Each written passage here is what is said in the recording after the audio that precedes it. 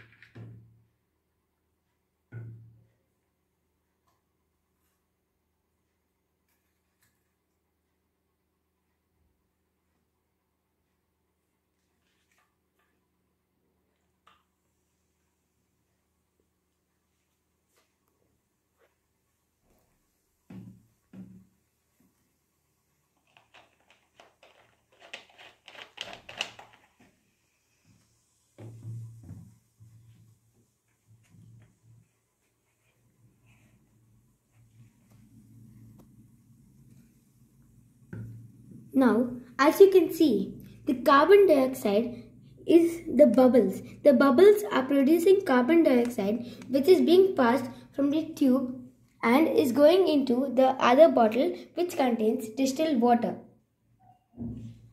The carbon dioxide is di being dissolved in the distilled water which creates carbonic acid.